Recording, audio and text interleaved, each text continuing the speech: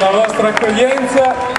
Io spero che insomma, mi sentiate bene, anch'io mi scuso per il ritardo, ma eravamo insomma, pronti, stavamo aspettando la fine delle premiazioni. Allora, come va? Eh, c'è un po' umido, ma cerchiamo ugualmente un'immagine, però si può fare lo spettacolo ugualmente. Allora, io vorrei cominciare dandovi il benvenuto dicendo un paio di battute per vedere se riusciamo a stabilire una comunicazione fra di noi. Dico subito la più brutta così non si può che migliorare. Si intitola Dal medico. Chi uno va dal medico quando torna a casa i familiari dicono dice ma il medico non ti ha scritto la ricetta completa. Perché? Perché sulla ricetta c'è scritto prendere della vitamina E.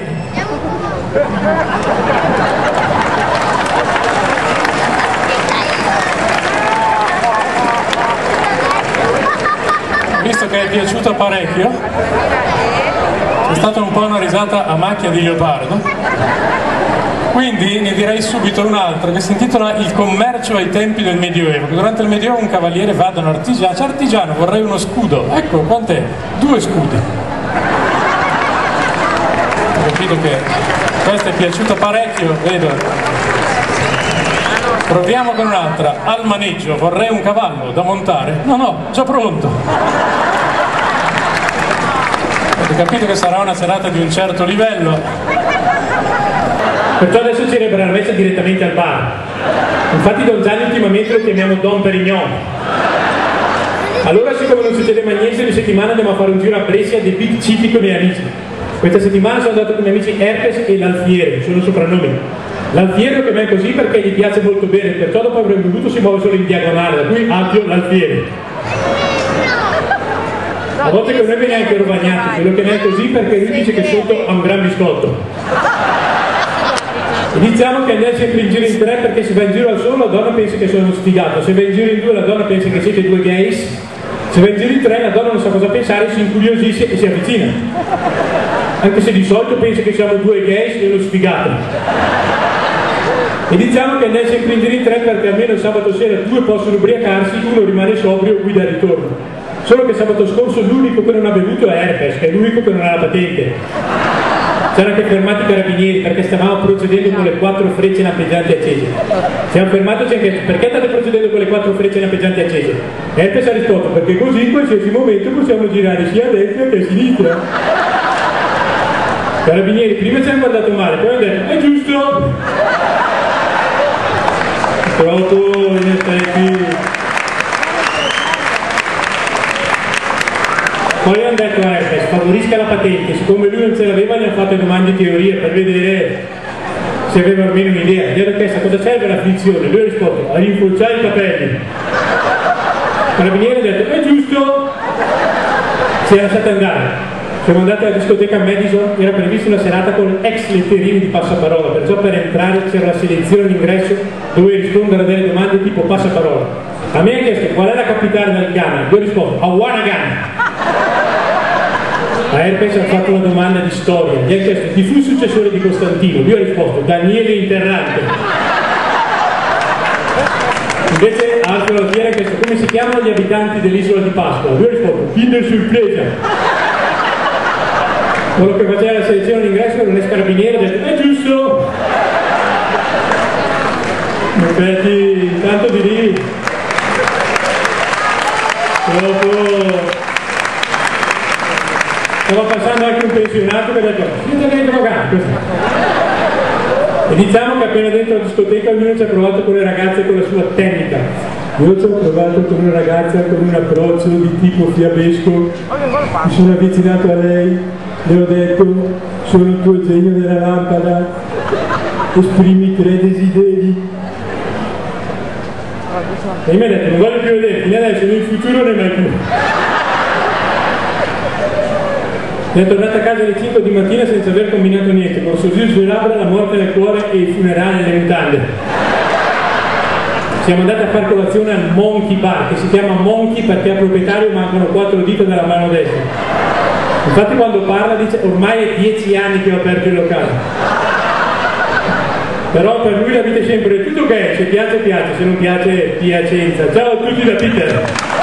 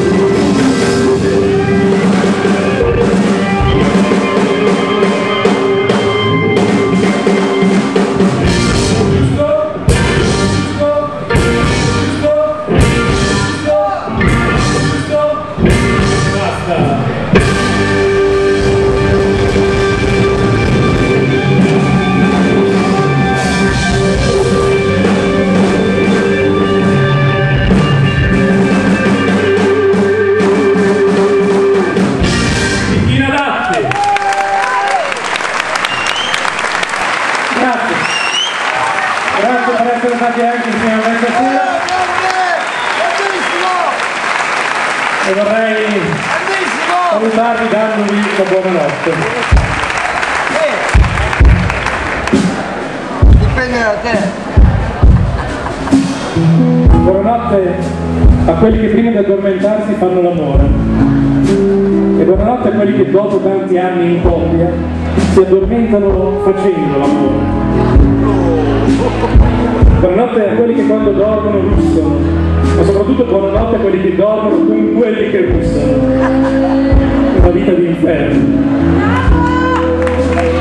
Il Signore ha con un Signore russa. Buonanotte alle donne che vanno a letto con i calzini e poi si lamentano se i mariti hanno bisogno del Viagra. Buonanotte a quelli che hanno paura di sognare l'uomo nero e alle loro mogli che magari lo sognerebbero volentieri. Ma di brutto proprio! Prima di andare a letto passano il barettino, bere una birra, mangiare il panino con la porchetta e poi mandano via gli acri dal materasso con un lutto. Buonanotte alle donne che prima di coricarsi si fanno una buona tisana purificante e poi dopo la tisana un'ultima sigaretta. Andare a letto dimenticano di struccarsi e poi a letto dicono al marito dai, leccami tutta. Buonanotte a quelli che prima di dormire dicono il Padre nostro, ma si addormentano sempre prima di dire non ci indurre in tentazione. Buonanotte a quelli che prima di andare a letto guardano Vespa e Marzullo e poi la mattina dopo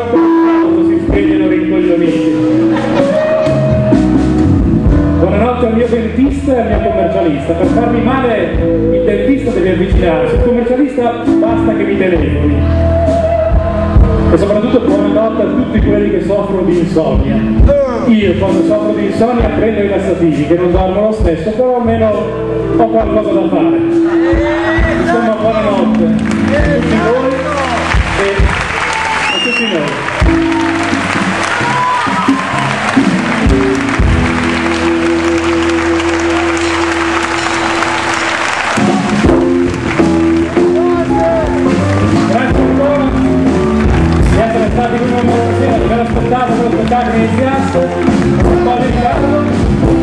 E